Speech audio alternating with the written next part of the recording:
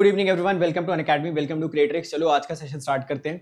आज हम लोग डिस्कस करने वाले हायर ऑर्डर और सिंगल डिग्री की डिफरेंशियल इक्वेशन का सेकंड लेक्चर फ़र्स्ट लेक्चर में हम लोगों ने सारे के सारे जो होमोजीनियस आपके डिफरेंशियल इक्वेशंस थे ना, उनका डिस्कशन ऑलरेडी कंप्लीट कर लिया और होमोजीनियस इक्वेशंस के सॉल्यूशंस निकालने में भी हम लोग कंफर्टेबल हैं। आज की क्लास में हम लोग होमोजीनियस डिफरेंशियल इक्वेशंस के साथ साथ नॉन होमोजीनियस की भी चर्चा करेंगे और देखेंगे नॉन होमोजीनियस में कौन कौन सी कैटेगरीज आती हैं और कौन कौन सी कैटेगरीज को आपको किस तरीके से कैटर करना चाहिए ठीक है? चलो शुरू करते हैं आज का सेशन आप उससे पहले आ, मैं आप लोगों को बता दूँ कि अगर आप लोगों ने अकेडमी लर्नर से ऐप डाउनलोड नहीं किया है तो इमीडिएटली सभी लोग प्ले स्टोर से ऐप स्टोर से जाके कर लो ताकि आप उसके सारे के सारे फीचर्स को एक्सेस करना स्टार्ट कर पाओ। अगर आप प्लस यूज़र हो तो आपके लिए और भी अच्छी बात है क्योंकि आपके लिए डाउट सॉल्विंग फीचर भी आ चुका है। तो डाउट सॉल्विंग फीचर में आपको सिर्फ़ करना क्या होता है? आपके पास जो भी डाउट्स हैं आप सारे के सारे अपने डाउट्स को ऐप स्टोर में डाल सकते हो। और जैसे ही आप वहाँ पे अपने डाउट्स को डालोगे, आपको वहाँ पे इमीडिएटली क्या मिल जाएगा? वीडियो सॉल्यूशन मिल जाएगा, ठीक है? बाकी उसके अलावा अकेडमी प्लस पे यार आपको लाइव क्लासेस मिलते हैं क्रैश कोर्सेज मिलते हैं, हर हफ़्ते आपको टेस्ट मिलता है क्विजेस के फॉर्म में। उसके अलावा डाउट सॉल्विंग का मैंने बता ही दिया कि डाउट सॉल्विंग फीचर ऐप में खुद ही है। प्लस जो डाउट सॉल्विंग सेशंस हैं, हर फोर्थ क्लास में आप कोई भी डाउट्स अपने आके पूछ सकते हो, वो भी काफ़ी डिटेल में डिस्कस होते हैं। और जो लोग फास्ट ट्रैक वे में तैयारी करना चाहते हैं, वो रैंक इंप्रूवमेंट बैच से भी अपनी तैयारी को कंटिन्यू कर सकते हैं। बाकी अगर आप आइकॉनिक सब्सक्रिप्शन लेते हो तो आइकॉनिक में आपको मेरे अलावा एक पर्सनल कोच भी मिलते हैं। वो कोच आपको मंथली डेली वीकली प्लान्स देते हैं। आप उनको एग्जीक्यूट करिए, आप उनके साथ बैठ के अपने स्टडी प्लान्स पे वर्क करिए और उसको रिलीजियसली फॉलो करिए। स्टडी बूस्टर सेशंस होते हैं जहाँ पे आपको one to one Zoom sessions मिलता है। आप टेस्ट देख के आ जाओ, उसकी एनालिसिस मिल जाएगी स्टडी मटेरियल आपको मिल जाएगा इंटरव्यू गाइडेंस प्रोग्राम ये सारा सब कुछ आपको आइकॉनिक में मिलता है। तो अगर आपको आइकॉनिक या प्लस कोई भी सब्सक्रिप्शन लेना है तो आपको ये कोड लगाना है। प्लस पे अगर आपको आना है तो ये कोड लगाना है। इस कोड का मतलब होता है मेरी पर्सनल गाइडेंस और उसके साथ साथ आपको मिल जाती है मैक्सिमम पॉसिबल डिस्काउंट भी। तो अगर आपने ये कोड यूज़ करा और प्लस पे आप आते हो तो आपको सारे के सारे कोर्सेज के एक्सेस के साथ साथ आपको मेरी गाइडेंस भी थ्रू आउट द प्रिपरेशन मिलती रहती है और किसी भी तरह के इशू के लिए आप डायरेक्टली मुझे एक्सेस कर सकते हो। बाकी यार, मैं आपको बता दूँ कि आपका अकेडमी प्लस पे चल क्या क्या रहा अभी। अभी देखो, एक तो आपके नॉर्मल रेगुलर कोर्सेज चल रहे हैं। उसके अलावा जो लोग ई एस सी को टारगेट कर रहे हो ना, उनके लिए प्रिलिम्स के भी बैचेस अभी स्टार्ट हो चुके हैं, जिसमें आपके जीएस के बैचेस अलग से चल रहे हैं, जिसमें इंजीनियरिंग सेफ्टी ऑलरेडी स्टार्ट हो चुका है। उसके अलावा आपके जो एडिशनल सब्जेक्ट्स हैं, जैसे माइक्रो प्रोसेसर हो गया भीमा शंकर सर का वो आने वाला है। तो आप अगर ईसी e ब्रांच के हो इलेक्ट्रिकल ब्रांच के हो तो माइक्रो प्रोसेसर ज़रूर कंप्लीट कर लो। बाकी उसके अलावा जो आपके रेगुलर बैचेस है, उसमें सुरेश सर के एनालॉग इलेक्ट्रॉनिक्स स्टार्ट होने वाला है। तो आप एनालॉग इलेक्ट्रॉनिक्स आके उनकी गाइडेंस में पूरी तरीके से तैयारी कर सकते हो। बाकी यार डिजिटल इलेक्ट्रॉनिक्स भी आपका स्टार्ट हो रहा है। दोनों ए और इलेक्ट्रिकल स्टूडेंट्स के लिए, ठीक है? चलो तो आई होप लास्ट क्लास में आप सभी लोगों को अच्छी तरीके से ये क्लैरिटी मिल गई। लास्ट क्लास में आप सभी लोगों को अच्छी तरीके से क्लैरिटी मिल गई कि differential equation of higher order को कैलकुलेट कैसे किया जाता है, ठीक है? अब ज़रा यहाँ पे आप एक चीज़ देखने की कोशिश करिए कि लास्ट क्लास में आप क्या क्या रहे थे कि जो डिफरेंशियल इक्वेशन था उसको आप पॉलिनॉमियल में कन्वर्ट कर रहे थे, है ना? तो अब क्योंकि आप डिफरेंशियल इक्वेशन को पॉलिनॉमियल में कन्वर्ट कर रहे थे तो कहीं ना कहीं आपको रूट निकालने की ज़रूरत तो पड़ेगी। तो जब तक वो सेकंड डिग्री की इक्वेशन थी, तब तक आप बड़े कंफर्टेबल थे रूट्स वगैरह कैलकुलेट करने में। बट वही अगर आपको थर्ड डिग्री की मिल जाएगी फोर्थ डिग्री की फाइव डिग्री की, तब इक्वेशंस इक्वेशंस के रूट्स कैसे कैलकुलेट करोगे, उसका डिस्कशन पहले करते हैं, फिर नॉन होमोजीनियस डिफरेंशियल इक्वेशंस पे आएँगे, ठीक है? तो सबसे पहली चीज़ तो आप यहाँ पे ये सोचो कि अगर आपके पास एग्ज़ाम में हायर ऑर्डर डिफरेंशियल इक्वेशन के क्वेश्चंस आ जाते हैं, जिसकी डिग्री जिसकी ऑर्डर तीन है, जिसकी ऑर्डर चार है, पाँच है, इस टाइप के अगर आपको क्वेश्चन दिखते हैं तो वहाँ पर मैं आपको एक सिंपल सा टेस्ट बताता हूँ, उस टेस्ट के थ्रू आप रूट्स कैलकुलेट कर सकते हो। हालाँकि वो टेस्ट तभी पॉसिबल होता है जब आपने एक रूट वन या माइनस वन के तौर पे कैलकुलेट कर लियो मतलब अगर उस इक्वेशन का एक रूट वन है या माइनस वन है, तब इस प्रोसेस को आप आगे बढ़ा सकते हो। तो आपके दिमाग में क्वेश्चन आया, सर, बाकी सारे क्वेश्चन को कैसे करेंगे? तो यार देखो, जहाँ तक मुझे लगता है एग्ज़ाम में ऐसे क्वेश्चन नहीं पूछे जाएँगे कि जिनकी हायर ऑर्डर हो, चार, पाँच छः जिनमें पॉलिनॉमियल आपका हायर ऑर्डर्स का बन रहा हो। और उसके बाद आपसे पूछा जाए रूट्स की कैलकुलेशन और वो कोई आर्बिटेरी रूट्स आ रहे हैं, ठीक है? क्योंकि जो आपके पास गेट का कैलकुलेटर होता है उसमें शायद ये ऑप्शन अवेलेबल नहीं होता है कि उसमें आप ज़्यादा डिग्री के इक्वेशंस को कैलकुलेट कर पाओ ठीक है? चलो खैर देखते हैं। एटलीस्ट ये वाला मेथड तो सीख ही लेते हैं जिसमें एक रूट वन या माइनस वन हो तो बाकी रूट्स कैसे कैलकुलेट करोगे? तो देखो सबसे पहले आपको क्या करना है? पॉलिनोमियल बना लेना है। पॉलिनोमियल बनाने के बाद आपको सबसे पहले यही टेस्ट कर लेना है कि आपके जो आ, रूट्स हैं, क्या वो डी इक्वल टू वन या माइनस वन हो सकते हैं यानी D equal to one check करने का तरीका बड़ा सिंपल है। आप जहाँ जहाँ पे डी दिख रहा है, उसकी जगह वन डाल दो आंसर ज़ीरो मिल जाएगा। या आप ऐसा भी कर सकते हो कि आप जितने भी वहाँ पे कोएफिशिएंट्स दिख रहे हैं, सबका अगर सम कैलकुलेट कर लोगे, वो ज़ीरो आ जाता है तो भी डी इक्वल टू वन आपका रूट हो जाएगा। सिमिलरली आपको अगर ये पता करना है कि माइनस वन रूट है या नहीं तो आप यहाँ पे माइनस वन डाल दो, अगर आंसर ज़ीरो आ जाएगा तो D equal to minus one one of the possible roots हो जाएँगे, ठीक है? अब जैसे मैं एक क्वेश्चन लेके चलता हूँ, ये आपके सामने एक क्वेश्चन दे रखी है, और यहाँ पे पूछा गया कि जरा ये बताओ कि ये जो आपको डिफरेंशियल इक्वेशन दिख रही इसका आप सॉल्यूशन निकाल के बताइए। तो सबसे पहली चीज़ आप बोलोगे, सर, इसमें कोई बड़ी बात नहीं ये तो होमोजीनियस डिफरेंशियल इक्वेशन है, अगर कोई बस हमें इसका रूट बता दे तो बाकी सारी चीज़ें हम अपने एंड पे टेक केयर कर लेंगे। तो अगर आप होमोजीनियस डिफरेंशियल इक्वेशन आइडेंटिफाई कर चुके हो, कैसे आइडेंटिफाई किया? क्योंकि आरएचएस में कोई एक्स का फ़ंक्शन नहीं प्रेजेंट था। आपको आरएचएस में हमेशा क्या दिख रहा था? ज़ीरो तो आप सबसे पहले यहाँ पे डिफरेंशियल इक्वेशन के पॉलिनॉमियल बनाओगे। इसको क्यूब कर लो। क्यूब होना चाहिए, ठीक है? तो ये मिलेगा D three minus three D plus two और multiplied by Y equal to zero ये है कहानी। अब आपको इसके रूट्स कैलकुलेट करने ठीक है? अब इसके रूट्स कैलकुलेट करने का तरीका क्या है? वही आज की क्लास में पहले आप सीख लीजिए। देखिए, आपको दिख रहा है कुछ ऐसा। D cube minus three D plus two equal to zero तो देखो, सबसे पहली चीज़ आपने ये तो आइडेंटिफाई कर ही लिया कि यहाँ पे अगर आपने डी की जगह पे वन डाल दिया तो आपका ये जो पूरा का पूरा पॉलिनोमियल है एफ़ ऑफ़ डी क्या इसकी वैल्यू आपको ज़ीरो आती हुई दिख रही? आई थिंक यस है ना? तो जैसे आपने यहाँ पे एफ़ ऑफ़ वन डाला, आपको ये मिल जाएगा one minus three plus two equal to zero. तो सबसे पहली चीज़ हमें यहाँ पे जो ब्रेक थ्रू मिला, वो ये मिला कि यार डी इक्वल टू वन इसका एक पॉसिबल रूट हो सकता है। जैसे आपको ये पता चल जाए, फिर आपको क्या करना है? मैं आपको एक सिंपल सा तरीका समझाता हूँ। देखिए, आप यहाँ पे लिख लीजिए डी क्यूब उसके बाद डी स्क्वायर उसके बाद डी पावर वन उसके बाद डी पावर ज़ीरो ठीक है? आप इनके कोएफिशिएंट्स यहाँ पे लिखो। कोएफिशिएंट्स क्या क्या दिख रहे थे? इसके वन इसका ज़ीरो था, इसका माइनस थ्री था और इसका टू था। ऐसा आप लिख सकते हो, ठीक है? आप क्या किया करो, यहाँ पे जो सबसे हायर वाली पावर आपको दिख रही है डी क्यूब ना, उसको उठा के यहाँ पे डाल दो। तो ये हो गया आपका डी क्यूब आपने ऐसे लिख लिया। आपने देखा इसके सारे के सारे कोएफिशिएंट का सम किया वन माइनस थ्री टू यहाँ से आपको मिल गया ज़ीरो तो आप यहीं पे एक रिमार्क दे सकते हो कि D equal to one is one of the possible roots ये आपने रिमार्क यहाँ पे दे दिया। इसके बाद क्या करना है, ध्यान से देखना। सबसे पहला वाला जो एलिमेंट दिख रहा है ना, यहाँ पे लिखो ज़ीरो लिख लिया आपने ज़ीरो अब देखो इसको और इसको ऐड करो। ज़ीरो प्लस वन कितना मिलेगा वन यहाँ पे पहुँचा दो वन आया समझ में? ज़ीरो को आपने वन में ऐड किया, मिला वन वन आपने यहाँ लिख दिया। इस वन को ज़ीरो में ऐड करो, क्या मिलेगा वन? आपने यहाँ पे वन लिख दिया। करेक्ट? तो आप करते क्या जा रहे हो? कुछ ऐसा कर रहे हो। दिस प्लस दिस और उसको आपने यहाँ पे लिख दिया। दिस प्लस दिस और इसको आपने यहाँ पे लिख दिया। कुछ इस तरीके से आप कहानी आगे बढ़ा रहे हो, है ना? फिर आप क्या करोगे? वन और माइनस थ्री को ऐड करोगे। क्या मिलेगा? माइनस टू और उसको यहाँ पे पहुँचा दो, ठीक है? फिर आप क्या करो? इन सारे के सारे एलिमेंट्स को सम करो। सारे के सारे एलिमेंट्स को अगर सम करोगे तो वन और ज़ीरो, वन। ज़ीरो और वन वन, ये हो गया माइनस टू, ये हो गया ज़ीरो। और जैसे ही आपको ये दो रोज दिख जाए ना, उसके बाद जो आपने ये लाइन खींच रखी, इसके नीचे इसकी पावर एक कम करके आप लिख दो। ये आपने लिख दिया डी स्क्वायर। करेक्ट? चलेगा? ठीक है? तो अभी एक दो क्वेश्चन करते करते ना आप इस पर कंफर्टेबल हो जाओगे बड़ी आसानी से। बट पहले शुरुआत में प्रोसेस आप अच्छी तरीके से सीख लो। आपने सिंपली क्या किया? जो इक्वेशन दे रखी थी, उसके रूट्स यहाँ पे प्लेस कर दिए। One, zero, minus three, two.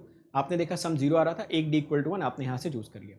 फिर आपने सबसे पहला एलिमेंट ज़ीरो या आपको खुद से लिखना है। ज़ीरो लिखा ज़ीरो प्लस वन मिल गया वन वन प्लस ज़ीरो मिल गया वन वन माइनस थ्री आपको मिल गया माइनस टू फिर आपने इन सारे एलिमेंट्स को सम किया तो आपने देखा यहाँ पे दो रोज का काम कंप्लीट हो गया था। उसके बाद जैसे ही आप ये लाइन खींच के सम लिखते हो ना, ये डी क्यूब के पावर आप डी स्क्वायर कर लिया करो। फिर से देखो क्या करना है। सारे एलिमेंट्स का देखो, अभी भी सम ज़ीरो आ रहा है one plus one two minus two zero यानी आप यहाँ से बोलोगे, इसका मतलब इसमें एक और रूट आएगा which will be D equal to one यानी आपके इस इक्वेशन के जो वन होगा ना, वो रिपीटेड रूट हो जाएगा। तो डी इक्वल टू वन एक बार ऊपर वाले से पता चला, एक बार नीचे से पता चल गया। फिर से कहानी आगे बढ़ाते हैं। फिर से यहाँ पे लिखते हैं ज़ीरो ज़ीरो और वन को आपने ऐड किया, मिल गया वन वन और वन को आपने ऐड किया, मिल गया टू और फिर से आपने इसका सम किया। जब आप इसका सम करोगे तो मिलेगा वन टू ज़ीरो मिला? अब यहाँ पे भी एक पावर इसकी कम करके लिख लेना डी पावर वन चलेगा? अब देखो क्या इसका सम ज़ीरो है? नहीं। जब इसका सम ज़ीरो ना आए, उस केस में आप क्या किया करो? एक इक्वेशन बना लिया करो। कैसे इक्वेशन बनाओगे? देखो यहाँ पे हायर पावर दिख रहे हैं ना डी डी को वन से मल्टीप्लाई कर दो प्लस जो आपको सेकेंड मिले एक्सप्रेशन उसको एज ए कोएफिशिएंट यूज़ करो और डी की पावर को आप ज़ीरो कर लेना। मतलब एक पावर को सब्ट्रैक्ट कर लेना। तो यहाँ से अगर मैं इक्वेशन बनाता तो इक्वेशन मुझे मिल जाता D plus two D power zero equal to zero या इसको सिंपल भाषा में आप लिख सकते थे D plus two equal to zero तो आप देख रहे कि आपने इस कॉम्प्लिकेटेड क्यूबिक इक्वेशन के तीनों रूट्स कैलकुलेट कर लिए। कौन कौन से रूट्स हैं? D equal to one D equal to one और उसके साथ था D equal to minus two ठीक है? तो आराम से इसको समझ लो नोट कर लो। अभी ऐसे पाँच छः क्वेश्चन मैंने ले रखे हैं तो थोड़ी थोड़ी देर में आप इस प्रोसेस में बड़ी जल्दी से कंफर्टेबल हो जाएँगे और बहुत फास्ट आप कैलकुलेशंस भी कर पाएँगे ओके देखो यार, बताओ किसी को कोई डाउट है इस क्वेश्चन में तो पूछो। अदरवाइज़ आगे बढ़ते हैं और फिर इस क्वेश्चन को सॉल्व कर देते खैर सॉल्यूशन में तो इसमें कुछ खास है नहीं, है ना? सॉल्यूशन में इसमें कुछ खास है नहीं, अब तो आप कर ही सकते हो। चलो, अब आ जाते हैं। अब देखो, हमें ये पता चल गया ना, ये जो क्यूबिक इक्वेशन थी डी क्यूब माइनस क्या था? Three D plus two equal to zero. इसके रूट्स क्या क्या आ गए? बस रूट्स ही तो कैलकुलेट करने की देर थी।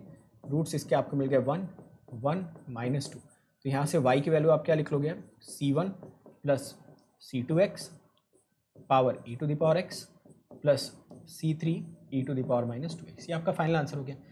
ना तो homogeneous system of sorry homogeneous जो डिफरेंशियल इक्वेशन होती है ना, वहाँ पे आपको आंसर निकालने में तो कभी चैलेंज आने ही वाला नहीं आंसर निकालने में आपको चैलेंज सिर्फ़ और सिर्फ़ इसी बात का आएगा कि शायद आप रूट्स कैलकुलेट करने में कभी कभार स्टक कर जाओ रूट्स कैलकुलेट करने में कभी कभार फंस जाओ। तो एक बार फिर से इस प्रोसेस को आप लोग देखिए। क्वेश्चन में कुछ नहीं था क्वेश्चन बड़ा सिंपल सा, बड़ा सीधा साधा सा। जस्ट ये प्रोसेस आप थोड़ा सा एक बार अपने दिमाग में बिठाने की कोशिश करिए, ठीक है? हो गया हो तो अगले क्वेश्चन पर चल सकते हैं। आइए, अगले सवाल की तरफ़ चलते हैं। यहाँ पे फिर से थोड़ा सा फोकस करिए, फिर से सेम चीज़ को समझने का प्रयास करते हैं। देखिए, यहाँ पे भी अगर हमें एक डिफरेंशियल इक्वेशन बनाए तो ये मिलेगा D cube minus four D square plus five D minus two. और यहाँ पे वाई लिखना वाई भी लिखो। ओके? तो ये आपको मिल जाएगा कुछ ऐसा। वाई इक्वल टू ज़ीरो ठीक है? तो देखो यहाँ पे पॉलिनोमियल आपको क्या मिल गया? पॉलिनोमियल आपको मिला D cube minus four D square plus five D minus two जैसा मैंने पहले बोला था कि आपने जो लास्ट टाइम पे प्रोसेस डेवलप किया ना, वो आप प्रोसेस तभी यूज़ कर सकते हो जब आपने डी इक्वल टू वन या D equal to minus one as a root find out कर लिया तो यहाँ पे भी देखते हैं क्या डी इक्वल टू वन एक इसका पॉसिबल रूट हो सकता है? चेक करके देखो। जब आप यहाँ पे डी इक्वल टू वन डालोगे तो आपको क्या मिलेगा? वन माइनस फोर प्लस पाँच माइनस दो इक्वल टू ज़ीरो पता चल गया डी इक्वल टू वन एक पॉसिबल रूट है। अब आपका आगे आगे की कहानी बढ़ाइए। और टेबल को बनाना स्टार्ट करते हैं। तो यहाँ तक पहले आप लोग समझ लो, ठीक है? बताते भी जाओ कमेंट सेक्शन में सभी लोग कि क्या आपको ये प्रोसेस अभी तक एज ऑफ़ नाउ क्लियर लग रहा है, ठीक है? तीसरे क्वेश्चन तक आते आते आप इसमें मास्टर हो जाओगे। बस ये प्रोसेस आपको थोड़ा सा टेक केयर करना ठीक है?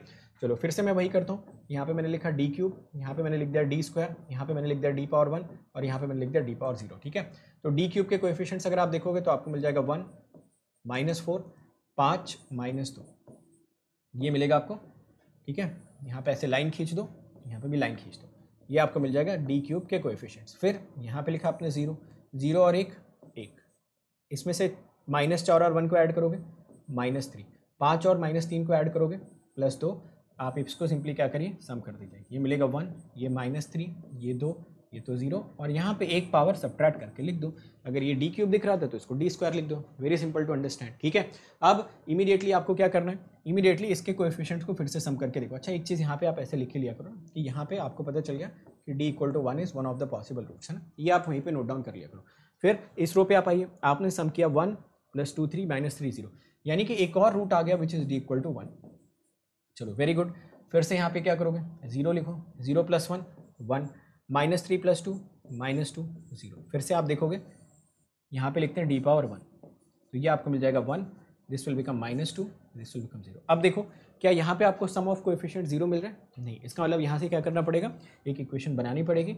वो इक्वेशन आपको दिख रही है D minus two equal to zero eventually आप लिख सकते थे डी की वैल्यू बराबर तो देखो कौन कौन से रूट्स आपको यहाँ पे मिले? इस क्यूबिक इक्वेशन के। एक वन मिला, एक वन मिला और एक टू मिला, ठीक है? तो ये क्यूबिक इक्वेशन जो यहाँ पे आपने प्रेजेंट करी थी, उसके रूट्स आपको क्या मिल गया? वन वन टू तो यहाँ से अगर आपको सॉल्यूशन लिखना होता तो अब आपके लिए सॉल्यूशन लिखना कोई बड़ा चैलेंज नहीं है। C one plus C two X यहाँ पर आप करोगे E to the power X plus C three E to the power plus two X ठीक है? ये आपका इस क्वेश्चन का आंसर आ गया। तो है ना काफ़ी सिंपल ये तरीका।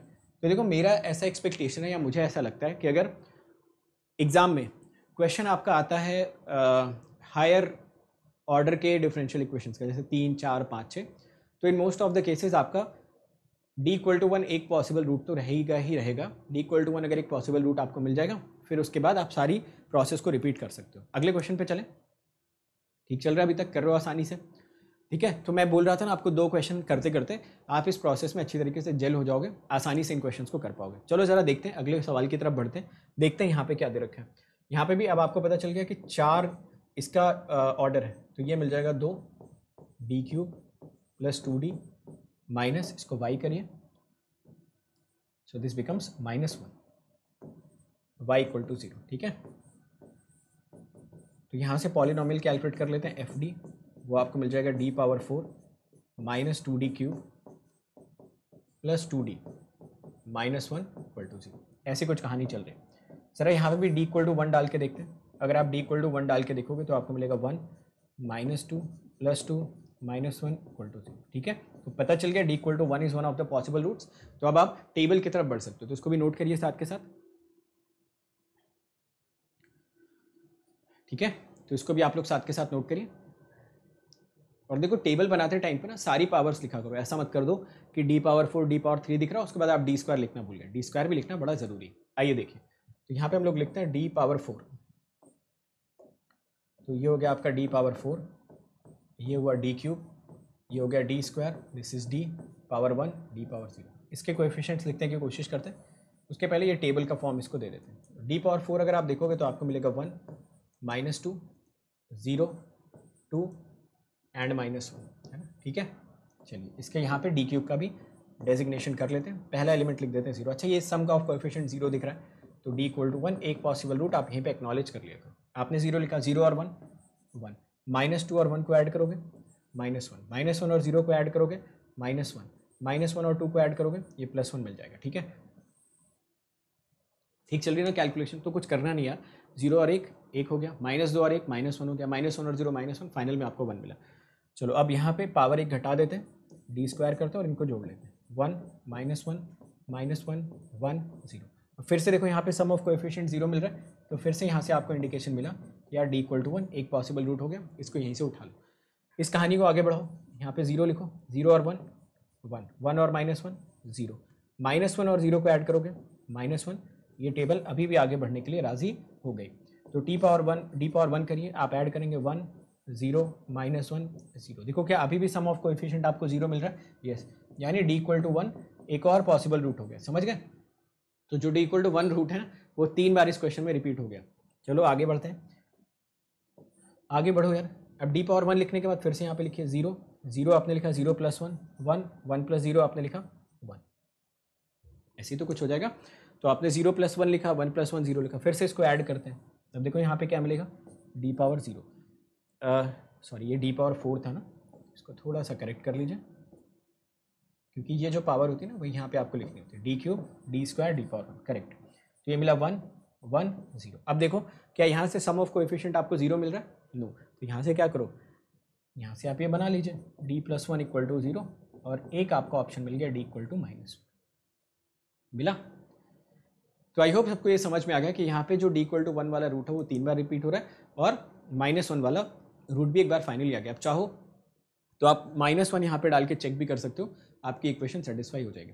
माइनस वन डालोगे तो ये तो प्लस वन ही रह जाएगा और ये आपका माइनस टू हो जाएगा और ये प्लस टू हो जाएगा। तो यहाँ पे भी सम आप अगर देखोगे ना तो अभी भी आपको ज़ीरो मिलेगा। खैर डी इक्वल टू वन से ही हमेशा शुरुआत करनी होती है क्योंकि वो टेबल ना थोड़ी सी ज़्यादा सीधी सीधी होती है। अभी मैं माइनस वन वाला भी एक क्वेश्चन करवाता हूँ तो वहाँ पे बस एक छोटा सा आपको चेंज करना रहेगा। चलो, अब देखो यहाँ पे कौन कौन से रूट्स आपको मिल गए हैं। आपको मिला one one one minus one तो यहाँ से अगर आपको वाई लिखना होगा तो वाई आप कैसे लिखेंगे? C one plus C two X plus C three X square और ये हो जाएगा आपका E to the power X plus C four E to the power minus X है ना? है ना काफ़ी आसान? तो यहाँ पे देखो चैलेंज अगेन मैंने बोला कि homogeneous equation is not a challenge वो चैलेंज है ही नहीं कि होमोजीनियस इक्वेशन को सॉल्व कैसे करेंगे। वो तो आप कर ही लोगे देर सवेर। वो तो आप देर सवेर कर ही लोगे। चैलेंज यहाँ पे ये है कि क्या आप रूट्स कैलकुलेट कर पाते हो या नहीं। अगर कर पाते हो देन इट इज़ ओके नहीं कर पाते हो तो ज़ाहिर सी बात है, फिर वो क्वेश्चन आप सॉल्व नहीं कर पाएँगे। ठीक है? जैसे ये क्वेश्चन देखते हैं, इस क्वेश्चन को भी सॉल्व करने की कोशिश करते हैं। पहले तो यहाँ तक बता दो, आप लोग कर पा रहे हो आसानी से? कंफर्टेबल हो सभी लोग?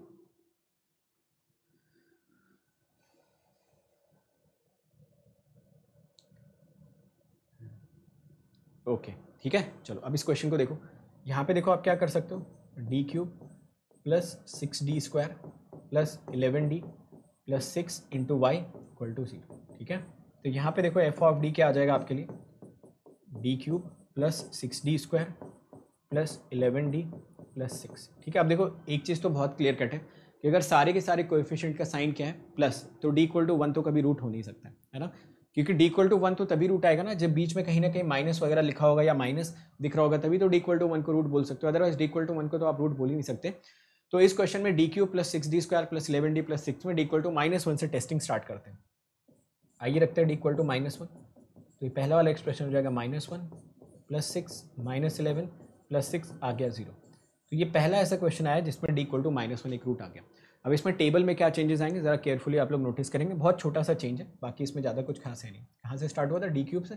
ये लिखो। D cube let me write it as D square D power one D power zero obviously यहाँ पे क्या करते हैं?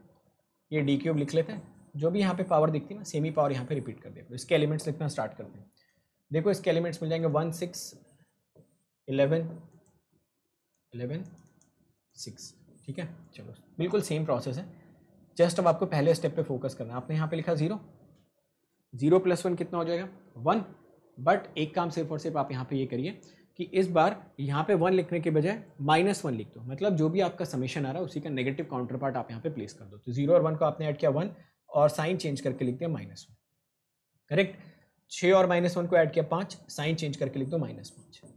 ओके वैसे ही इलेवन और पाँच को आपने ऐड किया, आपको क्या मिलेगा सिक्स तो साइन चेंज करके यहाँ माइनस सिक्स ले लो और ये चीज़ तो आप एक्नॉलेज कर ही लिया करो यहाँ से that your D is equal to D equal to minus one is one of the possible roots ठीक है? अब जरा इसको एक बार क्या करते हैं? सम करते हैं।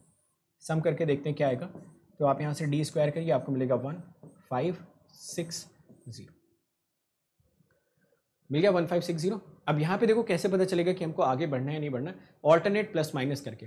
आप पहले पूरा सम करके चेक कर लेते थे। बट अब यहाँ पे ऑल्टरनेट प्लस माइनस करके देखिए कि क्या आपका जो एक्सप्रेशन आ रहा है वो माइनस वन की इक्वेशन को सेटिस्फाई कर रहा है नहीं। या आप ऐसा भी बोल सकते हो कि आप यहाँ से ना एक डिफरेंशियल एक एक पॉलिनॉमियल बना लो। वो पॉलिनॉमियल आपको क्या दिखेगी? D square plus five D plus six. दिख रहा है ना? ये डी स्क्वायर वाला रो था। तो आप इसको लिख सकते थे डी स्क्वायर, इसको फाइव डी प्लस सिक्स। इसमें ज़रा D equal to minus one डाल के देखिए कि आपकी ये equation D equal to minus one को सेटिस्फाई कर रही है। तो आप देखोगे कि yes this equation is satisfying D equal to minus one है ना? तो वो चीज़ आप यहाँ से भी कर सकते थे। जैसे यहाँ पे आपने देखा डी स्क्वायर वाला कॉलम था तो इस वन को प्लस की तरह ट्रीट करते हैं, इसको माइनस की तरह और इसको प्लस की तरह। तो भी आंसर आपको ज़ीरो मिलता है। बट अगर आप वहाँ से नहीं कर पा रहे हो तो इक्वेशन बना के सेटिस्फाई करवा लिया करो। D square plus five D plus six equal to zero यहाँ पे D equal to minus one satisfy कर रहा है। One minus five plus six ठीक है? तो यहाँ से भी आपको D equal to minus one एक पॉसिबल रूट मिला, ठीक है? फिर से आगे बढ़ाइए इसी चेन को। ये ज़ीरो हो गया। Zero plus one minus one क्योंकि माइनस करके लिखना है। पाँच और एक चार माइनस करके लिखना है। माइनस चार, ठीक है? चेक करो एक बार इसको भी, फिर आगे बढ़ते हैं। डी पावर वन वाले पे। तो जब आप इसको सम करोगे तो ये मिलेगा वन इसको करोगे तो ये मिल जाएगा फोर वन ठीक है ये फोर और ये इक्वेशन आपको कितनी मिल जाएगी? टू चेक कर लो एक बार। ये चेक कर लीजिए। ठीक है? अब यहाँ से देखो आपको जो इक्वेशन मिलेगी आ, ये हमने ठीक लिखा क्या? एक बार चेक कर लेते हैं। पाँच छः माइनस छः ज़ीरो आपने लिखा माइनस वन चार आए यहाँ से आपने लिख दिया माइनस चार।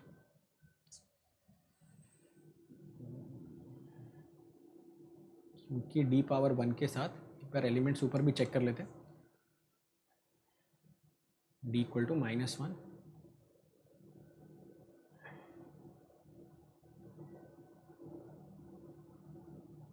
अच्छा ये देखो ना, यहाँ पे ही गड़बड़ हो रही है ना? ये देखें। D equal to minus one इसको सेटिस्फाई नहीं कर रहा है ना? वही तो। अगर आप यहाँ पे D equal to minus one डाल के देखोगे ना तो this equation is not being satisfied क्योंकि ये seven minus two not equal to zero आ रहा है। ठीक है? तो अगर आपको कभी ऐसा हो कि जहाँ पे D equal to minus one satisfy नहीं कर पा रहा है तो आपने D equal to minus one डाल के देखा this equation is not being satisfied okay तो D equal to minus one is not a root तो उस केस में आपको क्या करना होता है ना, जो ये पॉलिनॉमियल आपकी बनी हुई है D square plus five D plus six इसी को आप सॉल्व करके अपने रूट्स को कैलकुलेट कर लो। तो जैसे मान लो, किसी केस में अगर आपका ये सम ऑफ़ कोएफिशिएंट्स ज़ीरो नहीं आ रहे, या D equal to minus one के केस में, जो आपने यहाँ पे इक्वेशन बनाई D square plus five D plus six इसको D equal to minus one satisfy नहीं कर पा रहा है तो आप इसी इक्वेशन को सिंपली सॉल्व कर लीजिए। तो जैसे आपने यहाँ पे सॉल्व किया D square plus five D plus six equal to zero ये आपको मिल जाएगा D plus two into D plus three equal to zero ठीक है? तो यहाँ से डी की कौन कौन सी वैल्यूज़ आपको मिल जाएँगे? माइनस दो एंड माइनस थ्री आया ना लॉजिक सबको समझ में? यस तो आई होप ये डिस्कशन आपको अच्छी तरीके से समझ में आ गया। तो अगर कभी भी ऐसा होता है, जैसे आप यहाँ पे भी तो यही कर रहे थे, अगर आप यहाँ पे चेक करते, यहाँ पे भी डी पावर वन में आपने क्या किया? आपने यहाँ पे सम ऑफ़ कोएफिशिएंट्स कैलकुलेट किया, जो कि आपका क्या आ रहा था? नॉन ज़ीरो आ रहा था one plus one is non zero तो आपने यहाँ पे एक इक्वेशन बना के और रूट्स कैलकुलेट कर लिए। सेम लॉजिक आपको यहाँ पे भी एक्सटेंड करना है। आपने यहाँ पे भी देखा कि वन फाइव सिक्स, अगर मैं यहाँ पे ये इक्वेशन बना के D equal to minus one इसमें डालता भी हूँ तो D equal to minus one इसको सेटिस्फाई नहीं कर रहा मतलब अब यहाँ पे जो हमारे पास सेकंड डिग्री की इक्वेशन आ गए यही से हमको रूट्स की कैलकुलेशन करनी पड़ेगी।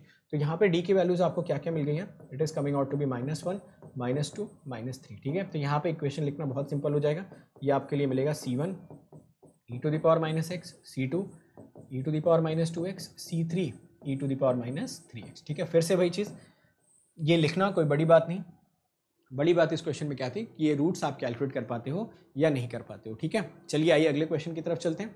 और इस क्वेश्चन में देखते हैं कि आप रूट्स कैसे कैलकुलेट कर पाओगे। होपफुली ये भी माइनस वन वाला क्वेश्चन होना चाहिए। आइए देखते हैं, ठीक है?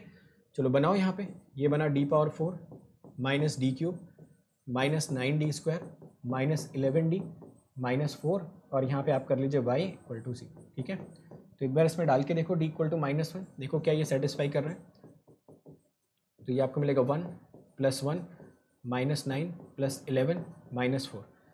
तो ये आपको दिख जाना चाहिए तेरह तेरह ज़ीरो, ठीक है? तो D equal to minus one आपका एक पॉसिबल रूट आ गया, ठीक है? इतना नोट करिए, फिर आगे बढ़ते हैं। फिर वही टेबल आप लोग जो लोग समझ गए, वो लोग आगे बढ़ते जाओ टेबल की तरफ़। तो D equal to minus one इसका एक रूट आपको दिख ही रहा है। D equal to minus one इसका एक रूट आपको दिख रहा है। अब आइए देखते हैं D equal to minus one के हिसाब से टेबल हम लोग कैसे बनाते हैं, ठीक है? तो यहाँ पे देखो मैंने क्या लिख लिया डी पावर फोर लिखा।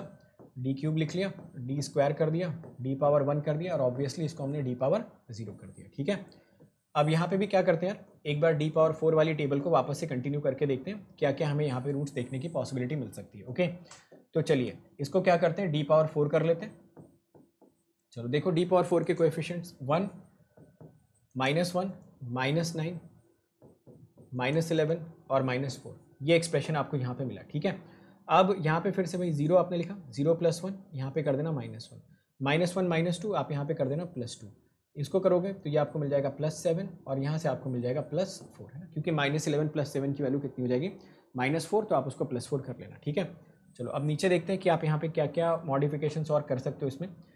तो सबसे पहले तो इसको ऐड कर लेते हैं वन माइनस टू ये मिलेगा minus seven this will become minus four and this become zero ठीक है? यहाँ तो यार खैर आपको एक्नॉलेज कर ही लेना चाहिए। That equal to minus one is one of the possible roots है ना? ये तो आप एक्नॉलेज कर ही सकते हो। यहाँ पे भी अब आपको इक्वेशन बना के एक बार चेक करके देखनी है कि क्या D equal to minus one आपका एक रूट हो सकता है तो देखो यहाँ पे क्या इक्वेशन बनेगी। ये पावर तो देखो आप एक रिड्यूस करके लिखे लोगे यहाँ पे डी क्यूब तो ये आपको मिल जाएगा। D cube minus two D square minus seven D minus four equal to zero ठीक है? D equal to minus one जरा एक बार यहाँ पे वेरीफाई करके देखिए।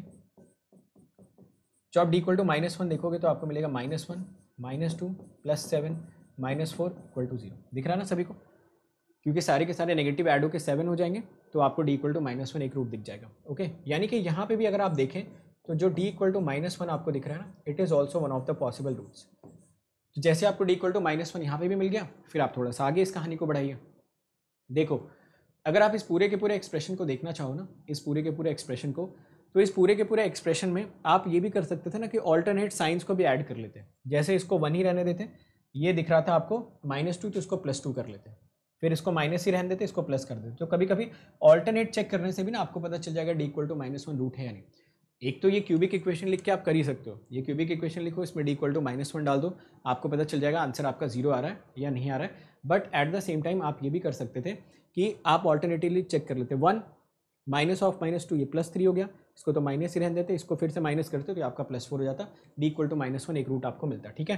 फिर से देखो यहाँ पे फ़र्स्ट एलिमेंट को आप ज़ीरो डालिए। ज़ीरो प्लस वन आपको वन मिला बट माइनस वन लिखना है। माइनस टू माइनस थ्री आप तो यहाँ पे प्लस थ्री लिख दीजिए, और ये माइनस फोर मिलेगा तो आप यहाँ पे प्लस फोर डाल दो, ठीक है? फिर यहाँ से आप एक डी स्क्वायर वाली इक्वेशन बनाओ, ये मिलेगा one minus three minus four zero यहाँ पे भी देखो ऑल्टरनेट चेक करके देखो कि आपको ज़ीरो मिलेगा यानी मतलब आप इसको वन ही रहने दो, इसको माइनस करो, ये फोर हो गया, ये माइनस फोर ज़ीरो ऐसे चेक कर सकते हो। अदरवाइज़ अगर आपको यहाँ से समझ में आता तो ऐसे भी कर सकते थे। D square minus three D minus four equal to zero तो आप डी की जगह पे यहाँ पे सिंपली क्या पुट कर दो यार? माइनस वन और डाल के देखो क्या ये इक्वेशन सेटिस्फाई हो रही। तो ये मिलेगा one plus three minus four equal to zero समझ गए ना? तो यहाँ से भी D equal to minus one एक पॉसिबल रूट आपको मिला। ओके अब आपको क्या करना है? फिर से वही ज़ीरो लिखिए। ज़ीरो प्लस वन वन हो गया, इसको माइनस वन कर लो और इसको प्लस फोर कर दो। फिर से आप अगली इक्वेशन में जाओगे डी पावर वन वाली में तो आपको ये दिखेगा वन ये दिख जाएगा माइनस फोर एंड ऑब्वियसली ये दिख जाएगा ज़ीरो अब देखो यहाँ पे ऑल्टरनेट प्लस माइनस करोगे तो आपको पावर ज़ीरो नहीं मिलेगी तो यहाँ से इक्वेशन बना लो D minus four equal to zero तो डी की वैल्यू आपको दिख जाएगी फोर ठीक है? तो इसके रूट्स अगर आप चेक करोगे तो आपको minus one minus one minus one और एक रूट आपको फाइनली फोर मिल जाना चाहिए. ठीक है? समझ आ गई बात सभी को? चलो यहाँ से डी की कैलकुलेशन कर लेते हैं तो डी आपको फाइनली मिल रहा है minus one minus one minus one four तो वाई लिखना अब हमारे लिए बहुत ही simple C one plus C two X plus C three X square E to the power minus X plus C four E to the power four X ठीक है? तो ये हो गया आपका फाइनल आंसर तो आई थिंक ये पाँच क्वेश्चंस के बाद अब आपको ये दिक्कत नहीं आनी चाहिए कि अगर आपका डी इक्वल टू वन या D equal to minus one one of the possible roots होते हैं तो उस केस में आपको अपना जो होमोजीनियस इक्वेशन है, वो कैसे सॉल्व करना चाहिए? तो एक बार यहाँ तक सभी लोग बता देंगे if every one is comfortable फिर उसके बाद हम लोग आगे की कहानी को बढ़ा सकते हैं, ठीक है? तो कमेंट सेक्शन में लिख दीजिए सभी लोग, जो लोग भी इस सेशन को देख रहे हैं। फिर आते हैं हम लोग non homogeneous linear constant coefficient differential equation पे या नॉन होमोजीनियस हायर ऑर्डर और सिंगल डिग्री की इक्वेशंस पे, ठीक है? चलो तो आई थिंक यहाँ तक आप सभी लोग अच्छी तरीके से सारी चीज़ें समझ गए और सारी चीज़ों को कोरिलेट भी कर पा रहे हो। अब देखो, आज की क्लास में असल में हमें यही पढ़ना था कि होमोजीनियस इक्वेशन के बाद नॉन होमोजीनियस इक्वेशंस का सॉल्यूशन कैसे निकाला जा सकता है।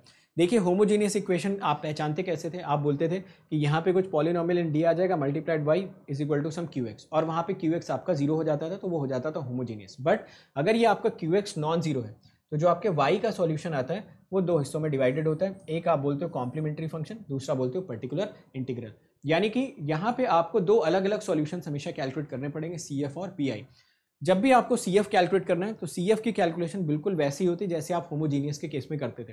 तो सी एफ़ की कैलकुलेशन होमोजीनियस के केस में करने के लिए आप राइट साइड वाले एक्सप्रेशन को ज़ीरो पुट कर दो और ये आपको एफ़ डी इक्वल टू कितना मिल जाएगा? ज़ीरो यानी कि अभी अभी जो आप होमोजीनियस डिफरेंशियल इक्वेशन के सॉल्यूशंस निकालना सीख के आ रहे हो ना, वो यहाँ पे एज इट इज़ ही कॉपी पेस्ट कर देना है फ़र्स्ट स्टेप में। तो कोई भी अगर आपसे पूछेगा कि कॉम्प्लीमेंट्री फ़ंक्शन कैलकुलेट करो सी एफ़ तो आप simply F D equal to zero calculate करना बट अगर किसी क्वेश्चन में आपसे पूछा जाता पर्टिकुलर इंटीग्रल कैलकुलेट करो तो पर्टिकुलर इंटीग्रल कैलकुलेट करने के लिए आपको कुछ set of following rules follow करने पड़ेंगे। वो कौन से रूल्स हैं, उनको वन बाय वन पढ़ते हैं। बट उसको निकालने के लिए सबसे पहला काम तो यही करना है कि आप इक्वेशन बना लो Y is equal to Q X upon polynomial D यहाँ से बहुत कुछ क्लैरिटी नहीं मिल रही बट अभी जब क्वेश्चन में आओगे तो थोड़ी सी क्लैरिटी मिलनी चाहिए, ठीक है?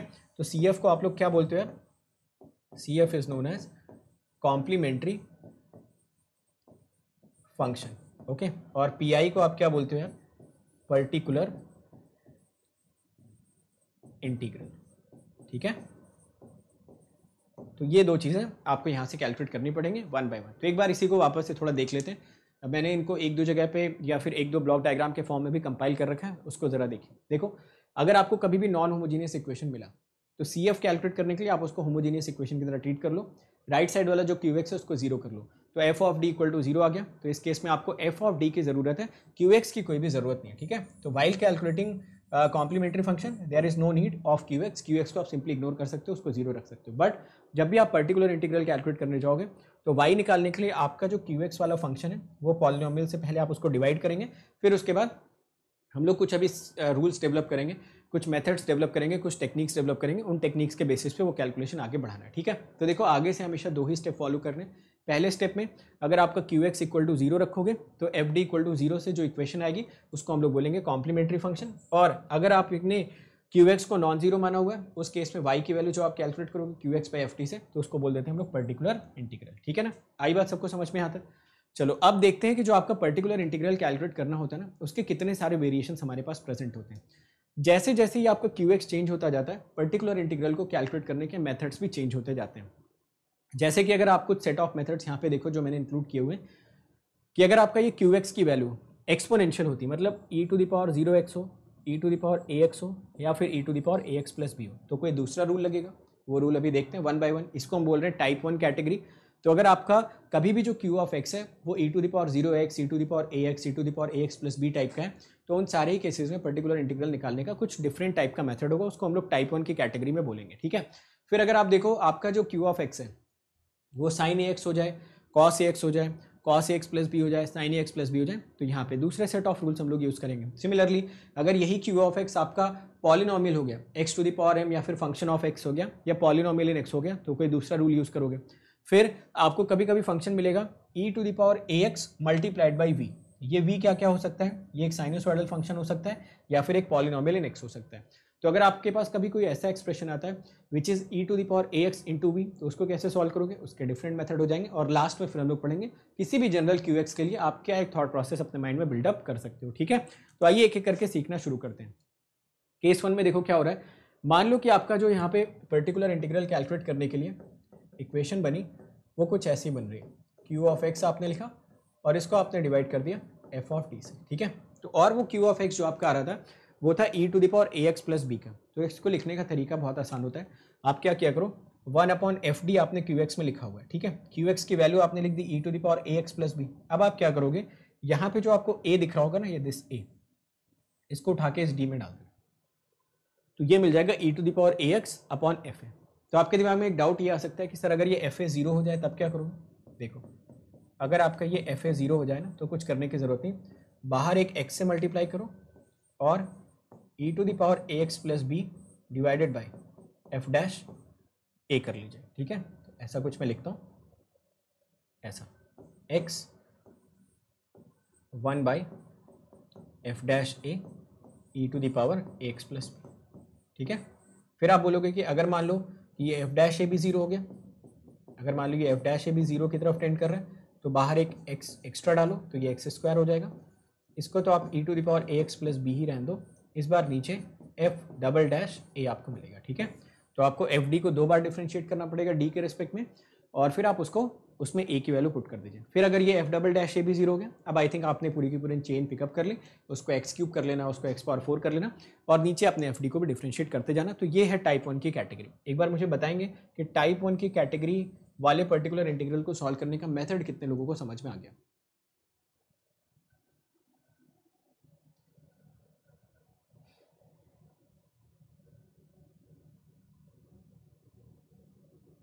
तरीका बहुत आसान है। जस्ट आपको क्यू ऑफ़ एक्स को आइडेंटिफाई करना है।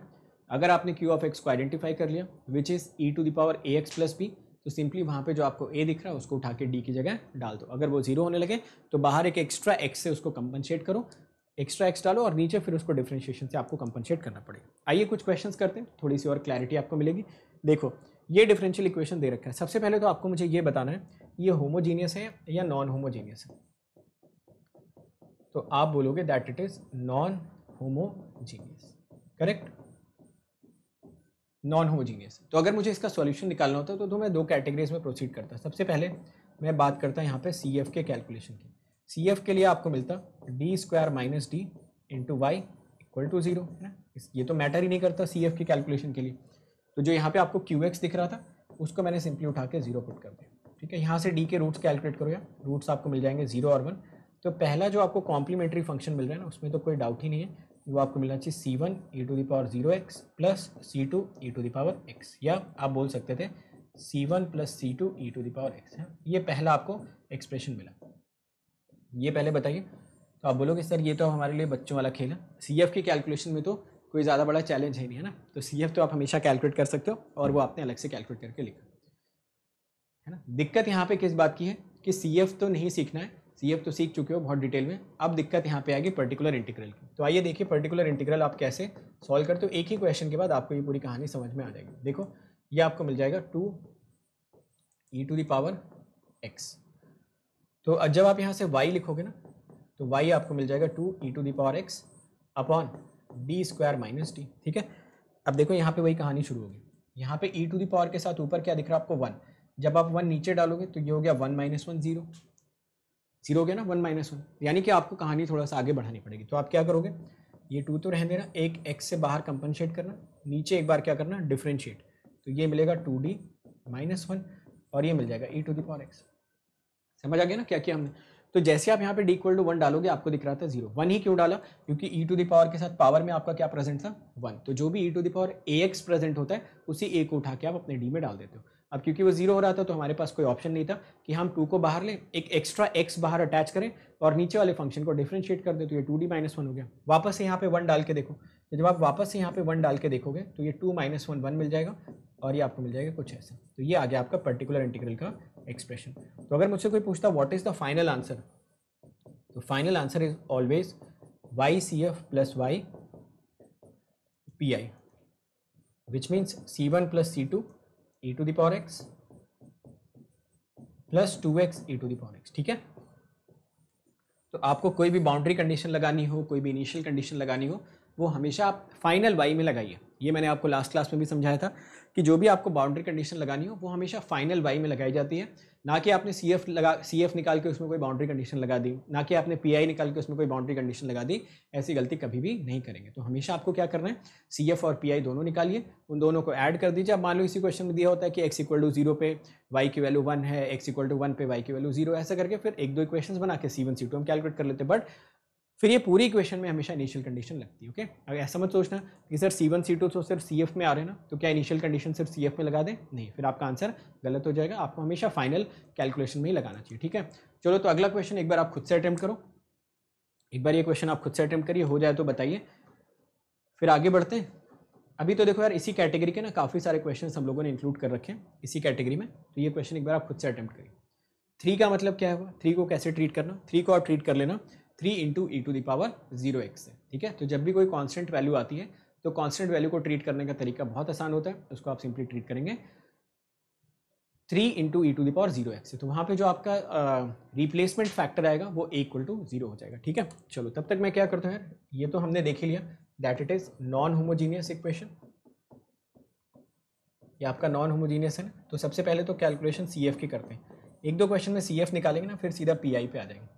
बार बार से पी आई कैलकुलेट करेंगे। तो ये मिलेगा वाई राइट साइड में देखना भी नहीं, मिल गया ज़ीरो रूट्स यहाँ से मिल गया प्लस माइनस थ्री तो वाई की वैल्यू आपको यहाँ से मिल जाएगी C one E to the power three X plus C two E to the power minus three X ठीक है?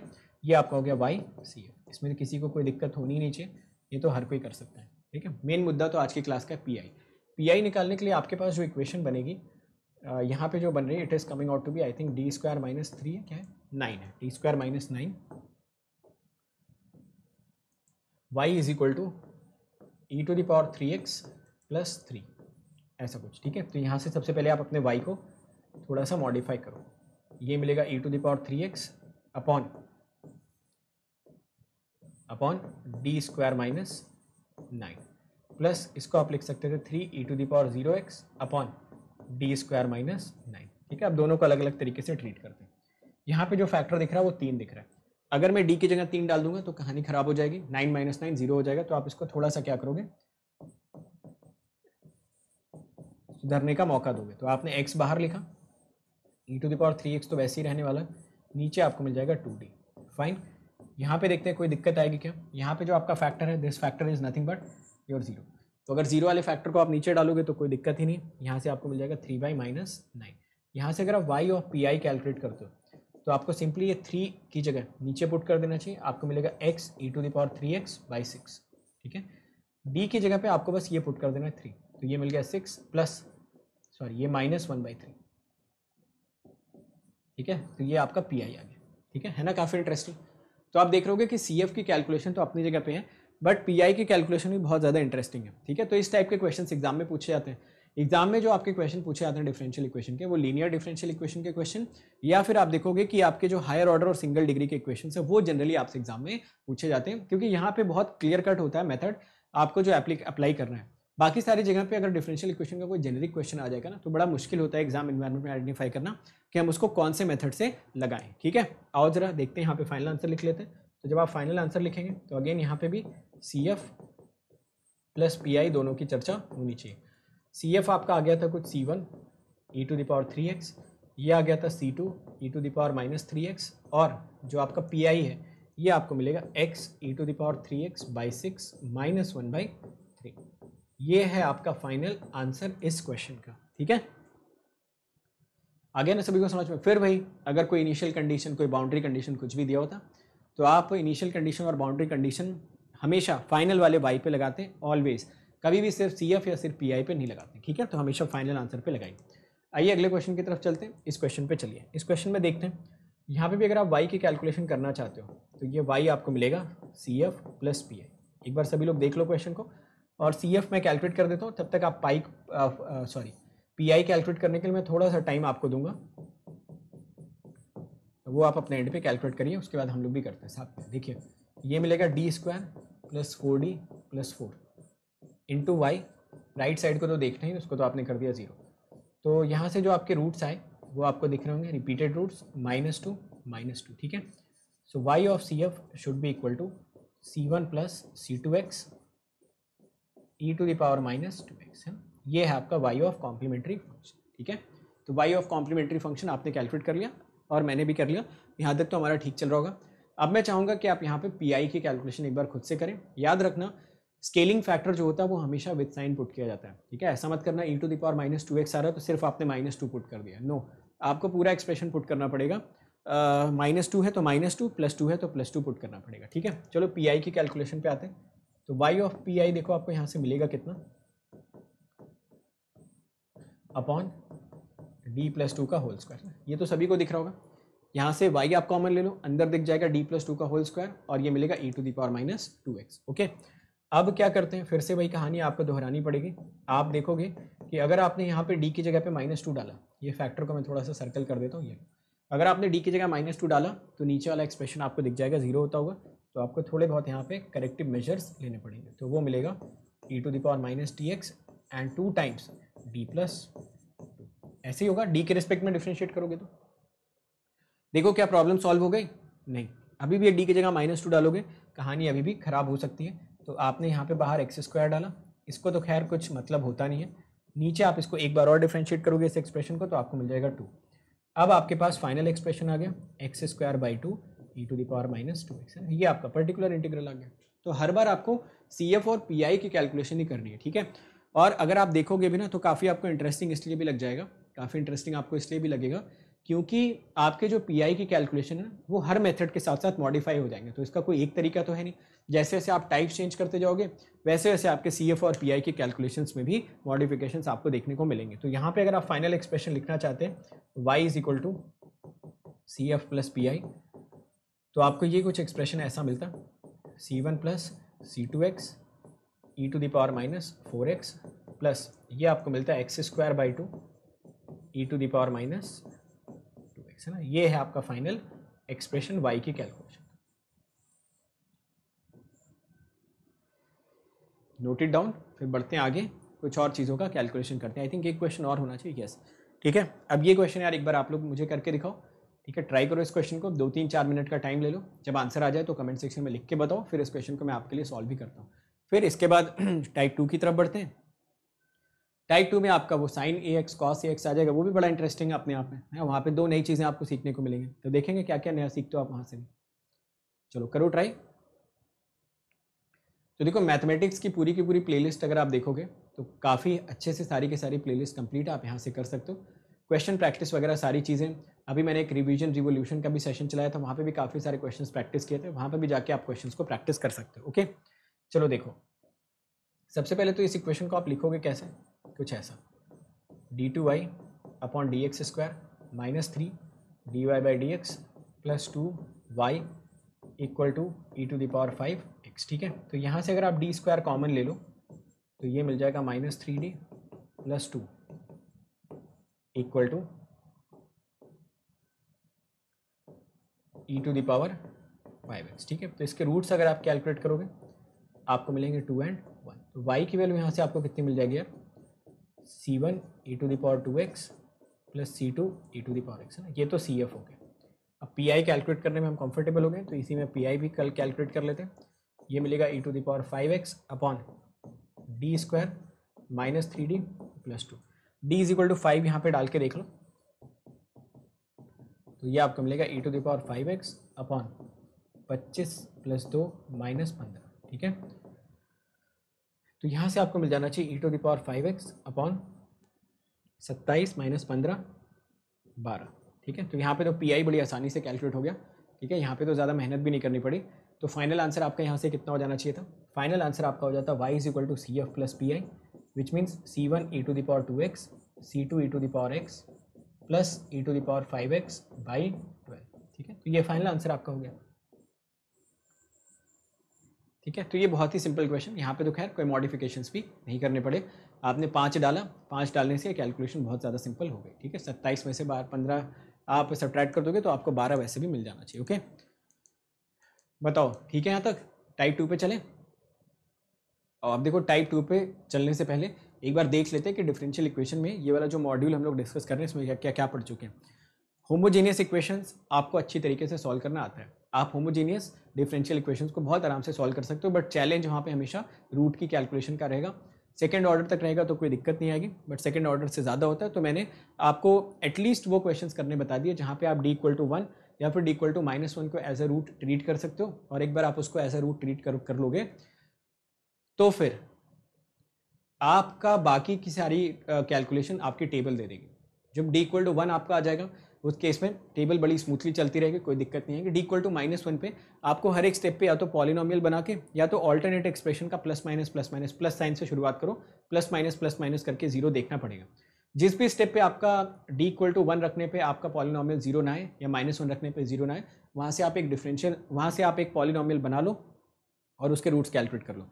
जनरली कभी कभी आपको सेकेंड डिग्री की पॉलिनॉमियल मिल जाएगी लास्ट में बची हुई या फिर फ़र्स्ट डिग्री की मिलेगी in most of the cases तो बाकी सारे रूट्स आपके टेबल में कैलकुलेट होकर रह जाएँगे।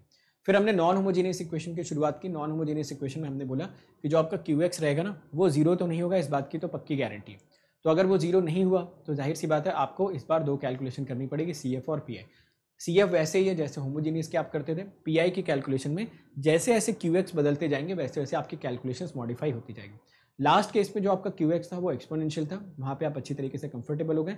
अब जो आपका क्यू एक्स आ रहा है, वो है साइन एक्स और कॉस एक्स ठीक है? या फिर sine x plus b cos x plus b ठीक है? तो देखो, यहाँ पे भी पी आई निकालने के लिए आप क्यू एक्स को एफ़ डी से डिवाइड करोगे। ऊपर आपने लिख लिया sine x plus b upon आपने नीचे लिख लिया f D is equal to five of D square five of D square लिखने का मतलब ये है कि आपको जहाँ जहाँ पे भी डी स्क्वायर दिख रहे हैं वहीं वहीं पे आपको माइनस ए स्क्वायर की रिप्लेसमेंट करनी। ठीक है? अगर कहीं पे डी दिख रहा है तो आप कुछ रिप्लेस नहीं कर सकते। तो इसके कहने का मतलब ये है कि आपको इस पूरे के पूरे एक्सप्रेशन में, जहाँ जहाँ पे डी स्क्वायर दिख रहा था, वहीं वहीं पे माइनस ए स्क्वायर आपको पुट करना है। ओके तो आपने ये माइनस ए स्क्वायर पुट कर दिया। So in this expression always D square is replaced by minus a square ठीक है? तो जहाँ जहाँ पे डी स्क्वायर दिख रहा है माइनस ए स्क्वायर डाल दो। जहाँ जहाँ पे डी दिख रहा है, उसको रोक के रखो, उसको आप कुछ कर नहीं सकते। डी रहेगा ही, चलता ही रहेगा साथ में। अब देखो यहाँ पे फिर आपके दिमाग में क्वेश्चन आना चाहिए कि सर बाय द वे मान लो कि ये जो five of minus a square आप लिख रहे हो ना, ये ज़ीरो आ गया तब, फिर से वही काम करो। एक एक्स बाहर डाल दो, यहाँ पे अंदर रखो तो one upon five dash minus a square और इसको आप कर लीजिए sine a x plus b ठीक है? फिर से आपके दिमाग में यही डाउट आएगा कि अगर ये फाइव डैश भी ज़ीरो हो जाए तो अगर ये फाइव डैश भी ज़ीरो हो जाता है तो उस केस में बाहर एक एक्स्ट्रा एक्स स्क्वायर लेके आओ। अंदर आपको दिखेगा one upon five double dash minus a square and sine a x plus b है तो क्यू एक्स तो आपका चेंज होता नहीं, बाकी सारे लोग अपने आप को एडजस्ट करते रहते हैं। ऐसे करके अब ये चेन आपको समझ में आगे आगे बढ़ाते रहो। ठीक है? तो टाइप टू वाले क्वेश्चंस भी अब आप आसानी से कर सकते हो। अब जब कुछ क्वेश्चंस करेंगे तो थोड़ी सी और क्लैरिटी आ जाएगी। अब यहाँ पे आपके दिमाग में यही यही आ रहा होगा कि सर डी स्क्वायर को तो माइनस ए स्क्वायर से रिप्लेस कर लेंगे, वो सब तो ठीक है बट जो डी बच जाएगा उसका क्या होगा? तो वही क्वेश्चंस के थ्रू एड्रेस करने की कोशिश करते हैं। ठीक है? चलें क्वेश्चंस की तरफ़। चलो बोलो। ठीक है, और देखो फ़र्स्ट ऑफ़ सेप्टेम्बर से आप सभी लोगों का क्रैश कोर्स भी स्टार्ट हो रहा है। तो क्रैश कोर्स के लिए भी रेडी रहो। साढ़े चार बजे से मेरा एम एफ़ टी आ रहा है so try to attend the M F T lecture live okay चलो, आइए देखते हैं यहाँ पे। अब ना सिर्फ़ और सिर्फ़ पी आई की बात करते हैं ओके अब सी एफ़ जाने देते हैं। सी एफ़ तो आप कैलकुलेट कर ही लोगे, उसमें तो कोई बड़ी बात है नहीं। सीधा पी आई पे आते हैं और पी आई को एड्रेस करने की कोशिश करते हैं। जैसे अगर आप यहाँ पे वाई की कैलकुलेशन करोगे तो वाई आपको मिल जाएगा C F plus P I ठीक है? सी एफ़ बहुत सारे लोगों को डायरेक्टली दिख रहा होगा कि जब आप सी एफ़ की कैलकुलेशन करोगे तो यहाँ पे जो रूट्स आपको मिल जाएँगे, जो आपको रूट्स मिलेंगे t square minus four D plus three equal to zero तो ये आपको मिल जाएगा D minus one and D minus three equal to zero ठीक है? तो यहाँ से डी की वैल्यूज़ कौन कौन सी मिल जाएँगे? यार it will be one it will be three तो वाई ऑफ़ सी एफ़ आप यहाँ से बड़ी आसानी से लिख सकते थे। C one e to the power x c two e to the power three x ठीक है? चलो, मैं बोल तो रहा था कि नहीं कैलकुलेट करते बट कर दिया। क्योंकि टीचर का जो दिल होता है ना, वो चाहता है कि वो अपने स्टूडेंट को सब कुछ बता दे, ठीक है? वैसे मैंने सोचा कि सी की कैलकुलेशन आपके हवाले कर दूँ बट मैंने सोचा कर ही देते कितना टाइम लगेगा, ज़्यादा से ज़्यादा एक मिनट जैसे इतने सारे लेक्चर्स वैसे एक मिनट और से चलो पी पे आते हैं। पी की कैलकुलेशन करते हैं। तो पी की कैलकुलेशन करने के लिए आपको ये इक्वेशन सॉल्व करने की ज़रूरत है। Cos x upon D square minus four D plus three ये है आपका PI की कैलकुलेशन ठीक है? अब ज़रा ध्यान से देख लो, एक ही क्वेश्चन यहाँ पे देखने पूरे के पूरे यार डिफरेंशियल इक्वेशन में एक ही बात है कि जब तक आप मेथड सुनते रहोगे, तब तक आपको कुछ 20 30 25 40 परसेंट समझ में आएगा। जब आप उसी मेथड पे क्वेश्चन कर लेते हो तो आप पूरा कंफर्टेबल हो जाते हो, फिर पूरे के पूरे मॉडल को आप काफ़ी अच्छे तरीके से ड्रैग कर पाते हो, ठीक है? तो ज़रा देखना है यहाँ पे यार यहाँ पे देखो ए की वैल्यू आपको कितनी दिख रही? वन तो जहाँ जहाँ पे आपको डी स्क्वायर दिख रहा होगा, उसको किससे रिप्लेस करना पड़ेगा? माइनस ए स्क्वायर से या माइनस वन से, ठीक है? चलो करते हैं रिप्लेस देखते हैं क्या होता है। तो ये आपको मिला कॉस एक्स जहाँ जहाँ पे आपको डी स्क्वायर दिख रहा था, आप माइनस वन से रिप्लेस करोगे। Minus four D plus three याद रखो रिप्लेसमेंट सिर्फ़ डी स्क्वायर का होना है डी को मत कर देना रिप्लेस तो डी स्क्वायर को आपने माइनस वन से करा, आपको यहाँ से मिल गया टू माइनस फोर डी मिला सभी को? तो ये मिल गया two minus four D into cos x अब समझ में नहीं आ रहा क्या करें? तो डी स्क्वायर जनरेट करो कहीं ना कहीं से। कैसे जनरेट करोगे? ऊपर नीचे टू प्लस फोर डी का मल्टीप्लाई करके। तो आइए करते हैं ऊपर नीचे टू प्लस फोर डी का मल्टीप्लाई ये हो गया टू प्लस फोर डी ये आपको मिल जाएगा कॉस एक्स नीचे आपको मिल जाएगा four minus sixteen D square है ना? A square minus b square करोगे तो आपको मिलेगा four minus sixteen D square अब देखो फिर से वही कहानी बन गई ना। डी स्क्वायर बना नीचे तो यहाँ पे आप देखो ज़रा। ए की वैल्यू वन थी डी स्क्वायर की जगह पे माइनस वन डालो। जब आप डी स्क्वायर की जगह पे माइनस वन डाल दोगे तो आपको ये मिलेगा two plus four D divided by ये माइनस वन तो टोटल हो जाएगा बीस, ये बचेगा कॉस अब ये सिंपल सा डिफ्रेंशिएशन का क्वेश्चन बन गया, ठीक है? टू बाई बीस कॉस एक्स फोर बाई बीस कॉस एक्स तो यहाँ पे आप लिख सकते हो one by ten cos x plus one by five D cos x okay अब ये फाइनल आंसर जो आप लिखने जाओगे तो one by ten cos x आपको मिल जाएगा minus one by five sine x आपको मिल जाएगा, क्योंकि कॉस एक्स का डिफ्रेंशिएशन यार कितना हो जाता है? माइनस साइन एक्स, ठीक है? तो जब भी कॉस एक्स को आप डिफ्रेंशिएट करोगे you will always get it as minus sine x तो ये आपका पी आई आ गया। अब आई थिंक फ़र्स्ट क्वेश्चन के बाद अब आप लोग कंफर्टेबल हो गए हो। अब आपके दिमाग में एक अच्छा खासा आइडिया बन गया मोटा मोटा कि यार इस तरीके से इस क्वेश्चन को हमें अप्रोच करना चाहिए। तो सबसे पहले हमारा काम क्या होगा इन सारे क्वेश्चन में कि सी एफ़ तो निकाल ही लोगे पी आई निकालने के लिए जहाँ जहाँ पे भी डी स्क्वायर दिख रहा होगा बस उसी को माइनस ए स्क्वायर से रिप्लेस करना है। तो कहीं पे भी आ, हो सकता है कि डी स्क्वायर आ ही नहीं रहा हो सकता है सिर्फ़ डी आ रहा हो। तो उन सारे केसेस में बड़ा आसान सा तरीका ये है कि आप डी स्क्वायर खुद से जनरेट कर लीजिए। आपने ऊपर नीचे टू प्लस फोर डी से मल्टीप्लाई करा उसके बाद ये ऊपर वाला जो इक्वेशन है वो सिंपल सा डिफ्रेंशिएशन का इक्वेशन बन गया आप उसको सॉल्व कर लो। तो यहाँ पे अगर आप फाइनल आंसर लिखते हैं तो आपको मिलता है c one e to the power minus x या plus x plus x plus c two e to the power three x plus जो पी आई वाला expression it is coming out to be one by ten cos x minus one by five sine x ठीक है? आसान है, सभी को आसान लग रहा है यहाँ तक। तो बस ये टाइप्स आपको देखने हैं टाइप्स देख के बस आपको कर देना, ठीक है? सारे टाइप्स आसान है। किसी टाइप में ऐसा कुछ नहीं कि आप समझ ही नहीं सकते या एकदम सर के ऊपर से चला जाए। सारे टाइप्स बहुत आसान है, बड़ी आसानी से आप उनको सॉल्व भी कर सकते हो ओके चलो यार, अगला क्वेश्चन देखो। अब देखो, अगले क्वेश्चन में इसने पीआई पूछ लिया ना तो यहाँ पे सिर्फ़ हम लोग पी कैलकुलेट करेंगे, ठीक है? तो अभी तक वो कुछ पूछ नहीं रहा था तो हम सब कुछ कैलकुलेट कर दे रहे थे इस क्वेश्चन में पी कर रहे थे। चलो एक बार इस क्वेश्चन को आप अपने एंड से ट्राई कर लो, देखो आपका क्या आंसर आता है, फिर इसको मैं भी ट्राई करके आपको बता देता हूँ क्या कर सकते हैं, ठीक है? चलो करो सभी लोग फटाफट अपने एंड पे। ट्राई करिए आंसर्स बता दीजिए जिसका भी आ रहा है। ताकि उस आंसर्स को हम लोग वेरीफाई भी कर पाएँ और वेरीफाई करने के बाद सही गलत का अंदाज़ा भी लगा पाएँ। तो जिनको और क्वेश्चंस की प्रैक्टिस करनी है, वो आप जा सकते हो और जो रिवीजन रिवोल्यूशन अभी चल रहा था, उसको आप फॉलो कर सकते हो, ठीक है? तो वहाँ पे आपको सारी की सारी चीज़ें देखने को मिल जाएँगी।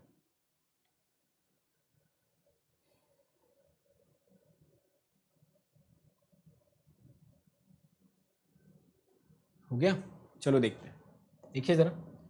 वाई तो आप सभी लोगों को अब देखना शुरू हो गया होगा। आपने लिखा है यहाँ पे sine two x upon D square plus four. ये अगर आप देखते हैं तो आपको ए की वैल्यू दिख रही है दो। डी स्क्वायर को आप रिप्लेस हमेशा करते हैं माइनस ए स्क्वायर से। मतलब आपका डी स्क्वायर रिप्लेस हो जाएगा माइनस फोर से। ये कहानी यहाँ पे आपको समझ में आई। बट आपने देखा कि यार अगर डी स्क्वायर की जगह माइनस फोर रख देंगे तो नीचे वाला एक्सप्रेशन ज़ीरो मतलब यहाँ पे इसको थोड़ा सा मॉडिफाई करना आपको पड़ जाएगा।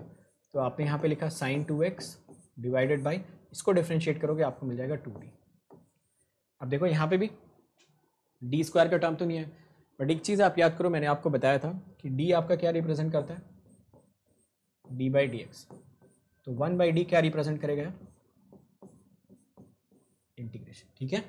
तो अगर कहीं पे सिर्फ़ वन बाई डी आता है ना तो हमारे लिए बड़ी अच्छी बात है, हम उसको इंटीग्रेशन की तरह ट्रीट कर लेंगे। जैसे कि इसी एक्सप्रेशन को अगर मुझे लिखना होता तो मैं ऐसे लिखता वन बाई टू को बाहर ले लेता और अंदर मुझे दिख जाता साइन टू एक्स अब देखो साइन टू एक्स का इंटीग्रेशन शायद किसी को बताने की ज़रूरत नहीं, ये आपको मिलेगा एक्स बाई टू और ये मिल जाएगा minus cos two x by two sine का इंटीग्रेशन माइनस कॉस और जो आपका इंटीग्रेशन वाला जो ये कांस्टेंट होगा ये भी नीचे आ जाएगा। तो फाइनल एक्सप्रेशन जो पी आई का मिलेगा that will be minus x by four cos two x है ना काफ़ी आसान? ठीक है? तो अगर वन बाई डी मिल जाता तो और भी अच्छी बात है। वन बाई डी को तो हम हमेशा इंटीग्रेशन में ही कन्वर्ट कर लेंगे। तो one by D sine two x को आपने लिख दिया minus cos two x by two और ये क्वेश्चन आपका यहाँ से भी सॉल्व हो जाएगा ओके आइए चलते हैं अगले सवाल की तरफ़। ये क्वेश्चन देखो, इस क्वेश्चन को आप करो। अब इस क्वेश्चन में आपको दिख रहा होगा तीन तीन आ गए, ठीक है? साइन टू एक्स भी आ गया इस पिक्चर में e to the power three x भी आ गया और हंड्रेड भी आ गया। तो देखो साइन टू एक्स को तो साइन टू एक्स कितना ट्रीट करोगे, ठीक है? E to the power three x को तो e to the power three x कितना करोगे? हंड्रेड को कैसे करना है यार आपको ट्रीट हंड्रेड को जब आप ट्रीट करने जाओगे तो वो हो जाएगा hundred e to the power zero x करेंगे सभी लोग क्वेश्चन को? अच्छी तरीके से सोचिए, समझिए और इसका भी आंसर बताने की कोशिश करिए।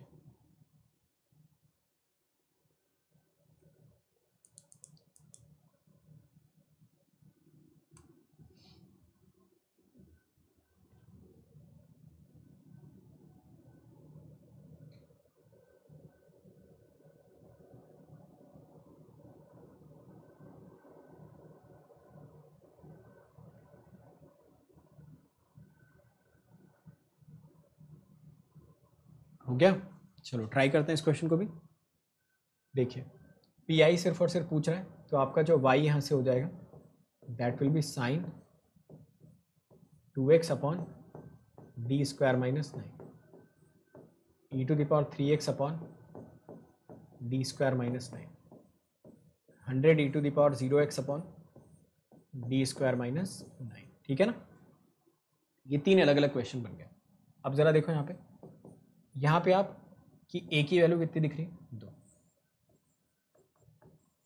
ठीक है? तो डी स्क्वायर को किससे रिप्लेस करोगे? माइनस ए स्क्वायर मतलब माइनस फोर से। कर देते हैं। तो ये तो मिल जाएगा sine two x by minus four minus nine यहाँ पे आप डी की जगह पे थ्री डालोगे तो थ्री माइनस नाइन आपको कितना दिख जाएगा? ज़ीरो तो आप क्या करोगे यार? बाहर एक एक्स डालोगे। E to the power three x नीचे इसको कर दोगे डिफ्रेंशिएट ये मिल जाएगा टू डी प्लस यहाँ तो कोई दिक्कत है ही नहीं। आप यहाँ पे डालोगे ज़ीरो, क्या मिल जाएगा ज़ीरो माइनस नाइन, ठीक है? तो y की वैल्यू आपको मिलनी चाहिए sine two x by minus thirteen ये पी आई कैलकुलेट कर रहे हो, ठीक है? ये फाइनल आंसर नहीं है। ये सिर्फ़ पी आई कैलकुलेट करें सी एफ़ आपको अपने एंड से ऐड करना है। प्लस अब यहाँ पे, जहाँ पे डी दिख रहा है, उसकी जगह पे आप थ्री डाल दो। तो ये आपको क्या मिल जाएगा? X by six e to the power three x और फाइनली आपको मिल जाएगा minus hundred by nine okay चलो बताओ देख लो यार इसको, और आंसर बताओ। ये आ रहा था आप लोगों का? तो ऐसे ही करना है सारे क्वेश्चंस में। इसमें कुछ ऐसा कुछ नहीं कि आपको डिफरेंशियल इक्वेशन का कोई बहुत हाई फाई पार्ट पढ़ रहे हो, ऐसा कुछ नहीं। बस टेक्निक्स अगर एक बार करेक्ट हो गए, आप उसी को आगे बढ़ाते रहिए। तो इसमें कुछ ऐसा नया नहीं है, कुछ इसमें ऐसा पुराना नहीं है। ये आपकी एक सिंपल सी टेक्निक है, ये आप लगाओगे तो सारे क्वेश्चन के आंसर कैलकुलेट कर सकते हो, ठीक है? चलो, ये क्वेश्चन अगला क्वेश्चन आपके सामने, इस क्वेश्चन को भी आप ट्रीट करिए। ठीक है, इस क्वेश्चन में वैसे तो क्वेश्चन मुझे इतना ही लिखना चाहिए था sine two x cos x ठीक है? तो आप sine two x cos x देख के ये मत बोलो कि सर हमने तो सिर्फ़ और सिर्फ़ sine a x plus b या cos a x plus b की टेक्निक सीखी है। अगर आपको कभी sine a cos b sine a sine b cos a cos b cos a sine b इस टाइप के एक्सप्रेशन मिलते हैं तो आप फॉर्मूला लगा के उनको अलग अलग कर लीजिए। जैसे यहाँ पे अगर आप देखोगे sine two x cos x में तो आप इसको लिख सकते थे two sine a cos b मतलब sine a plus b plus sine a minus b अगर लगाते हैं तो ये सिंपल से दो क्वेश्चन में कन्वर्ट हो जाता। अब आप इस क्वेश्चन को सॉल्व करो। इस क्वेश्चन में अगेन आप देखोगे कि दोनों ही पीआई को आपको सेपरेटली ट्रीट करना है और उनके लिए जो रिक्वायर्ड मॉडिफिकेशन हैं, जो रिक्वायर्ड करेक्शन हैं, वो मीन आपको लगाते भी जाने ठीक है? चलो करो। आराम से ट्राई करो इस क्वेश्चन को भी। तो ये सारे के सारे क्वेश्चन ही ना आपको आसानी से लगाने चाहिए। और जो डिफरेंशियल इक्वेशन वाला चैप्टर है, उसको हमेशा मॉडल्स में ही डिवाइड करके पढ़ना चाहिए। जो जो डिफरेंट डिफरेंट मॉडल्स हैं, हर टाइप के मॉडल आपको अच्छे से समझ में आने चाहिए।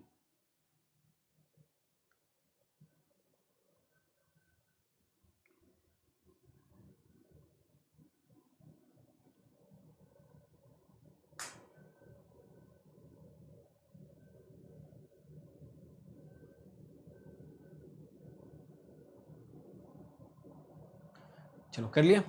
आइए देखते हैं इस क्वेश्चन को भी सॉल्व करते हैं। देखो ज़रा, इसको आप क्या लिख सकते थे? इसको आप लिख सकते थे, y is equal to one by two sine three x upon d square plus one plus one by two sine x upon d square plus one ठीक है? चलो, अब बताओ क्या करना है? यहाँ पे ए आपको क्या दिख रहा है? थ्री यहाँ पे ए आपको क्या दिख रहा है? थ्री तो डी स्क्वायर की जगह पे क्या रखना है? माइनस नाइन यहाँ पे ए आपको क्या दिख रहा है? वन तो डी स्क्वायर की जगह पे क्या रखना है? माइनस वन चलो रखते हैं सारी वैल्यूज़ देखते हैं क्या हो जाएगा इससे। तो one by two sine three x d square की जगह पे आपने अगर रख दिया डी स्क्वायर की जगह पे आपने क्या रख दिया? माइनस वन नहीं माइनस नाइन तो ये मिला माइनस नाइन प्लस वन यहाँ पे आपने डी स्क्वायर की जगह पे माइनस वन रखा तो वही ज़ीरो आने की पॉसिबिलिटी रहेगी। तो आप यहाँ पे एक्स से मल्टीप्लाई करोगे और नीचे डिफ्रेंशिएट करोगे तो आपको मिल जाएगा one by two d sine x ठीक है? फिर से वही साइन एक्स का इंटीग्रेशन करना पड़ेगा। ठीक है? डी का मतलब डिफ्रेंशिएशन वन बाई डी का मतलब इंटीग्रेशन तो यहाँ से आपको मिलेगा sine x by minus sixteen plus x by four इसको कर लो यार। और one by d sine x आपका मिल जाएगा माइनस कॉस एक्स ठीक है? साइन एक्स का इंटीग्रेशन कितना होता है? माइनस कॉस एक्स और वन बाई फोर वाला फैक्टर बाहर आ गया। ये आपका पी आई का फाइनल एक्सप्रेशन हो गया। So this is the P I that you are calculating ठीक है जी? आ गया समझ में सबको? तो आई होप सभी लोगों ने कर भी लिया होगा, जितने भी लोग इस सेशन में प्रेजेंट हो। सभी ने बड़ी आसानी से इस क्वेश्चन को सॉल्व कर लिया होगा, ठीक है? आइए अगले सवाल की तरफ़ बढ़ते हैं। ये क्वेश्चन देखिए, इस क्वेश्चन का आंसर बताइए। इसमें भी मैंने दो ऐसे सिग्नल्स को अटैच कर रखा है, जिसमें आपको एक दिख रहा होगा cos two x plus four और दूसरा आपको दिख रहा है e to the power minus two x तो d two y upon d x square plus four y is equal to cos two x plus four plus e to the power minus two x देखिए, सोचिए, समझिए answer बताइए, क्या answer होना चाहिए इस question का, ठीक है?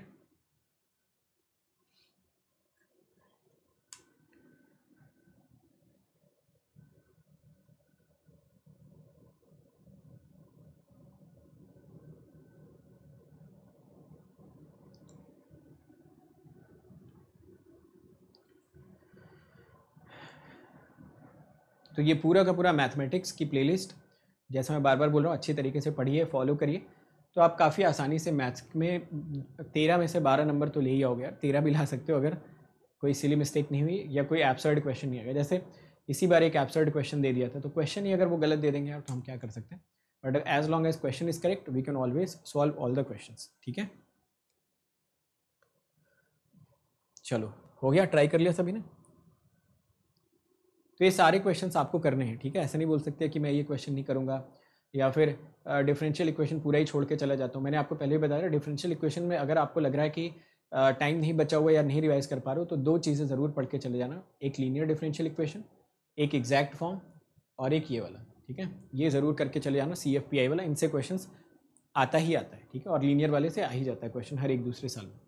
चलो, इस क्वेश्चन को भी सॉल्व करते हैं। अब देखो, इस क्वेश्चन में कुछ पूछा नहीं गया तो सी और पी दोनों निकाल देते हैं, ठीक है?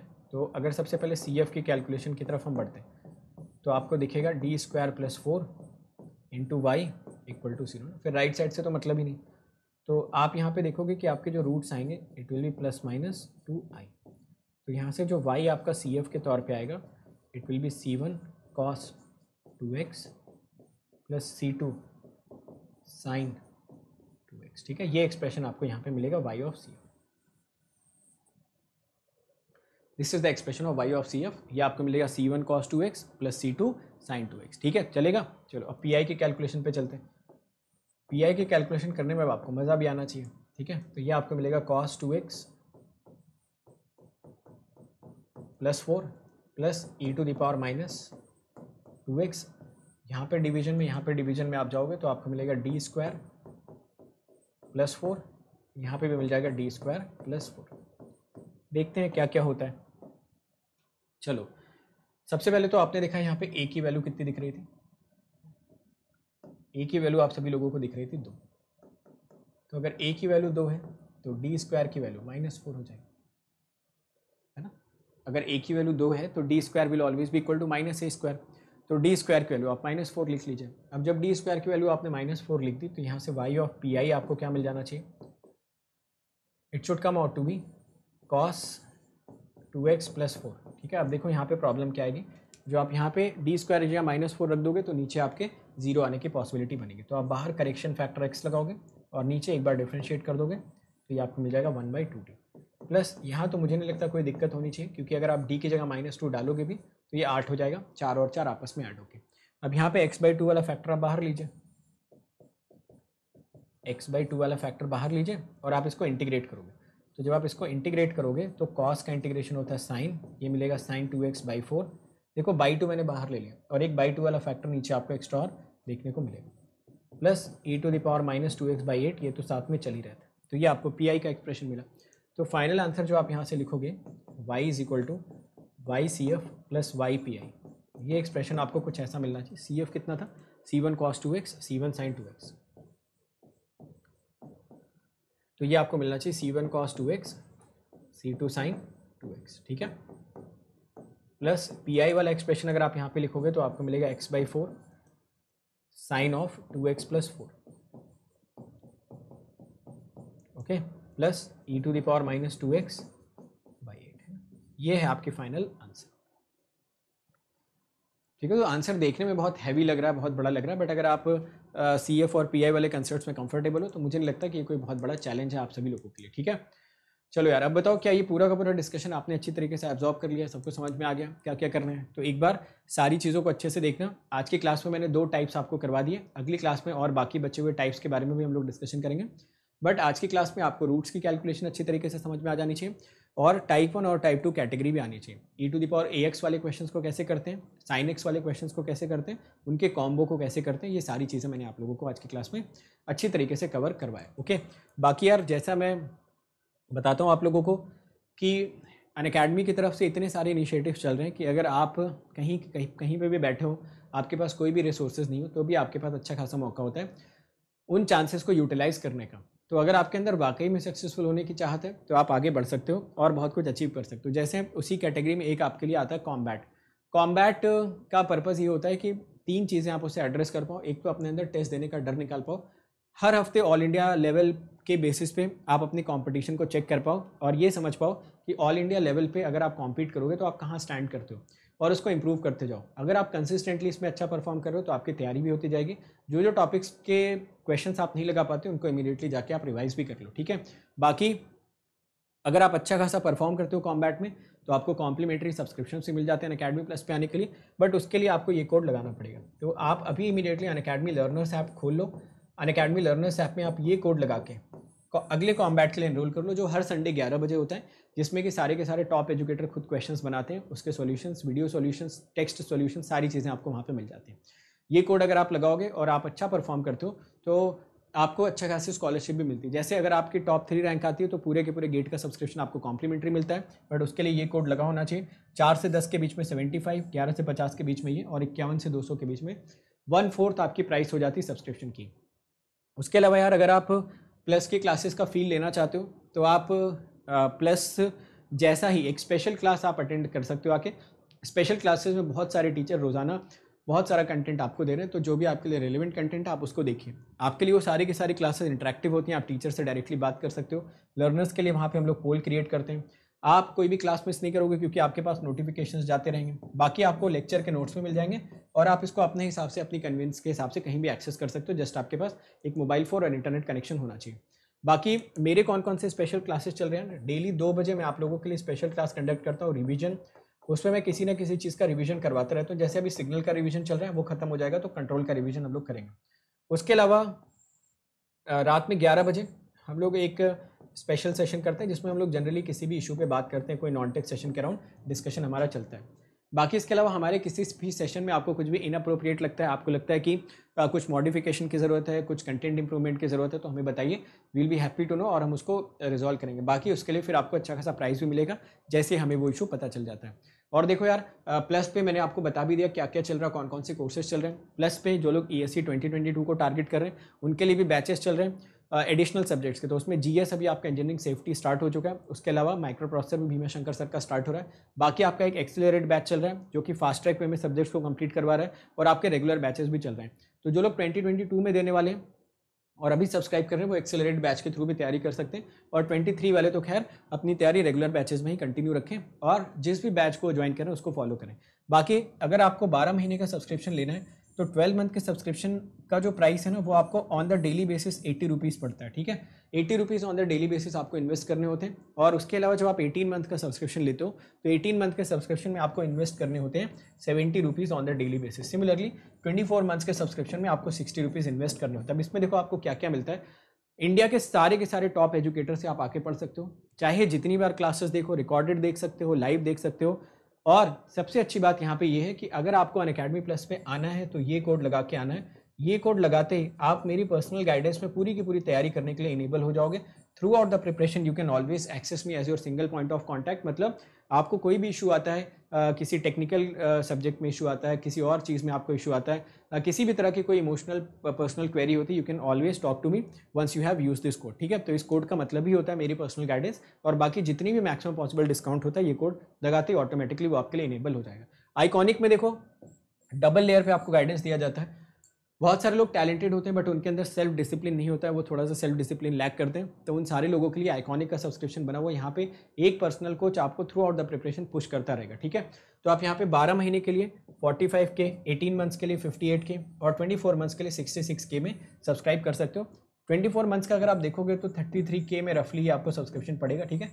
जो किसी भी अदर प्लेटफॉर्म से बहुत ही ज़्यादा कॉस्ट इफ़ेक्टिव है और यहाँ पे भी आने के लिए कोड तो आपका यही लगता है, ठीक है? तो अगर आपको प्लस पे आना है तो ये कोड लगाना है और इस कोड का मतलब होता है मेरी personal guidance and maximum possible discount ठीक है? तो आज के सेशन में इतना ही है। अगर वीडियो अच्छा लगाओ तो लाइक करना ना भूलें। इसको अपने व्हाट्सएप ग्रुप टेलीग्राम ग्रुप में शेयर भी कर दें और साथ के साथ चैनल को सब्सक्राइब भी कर दें। Thank you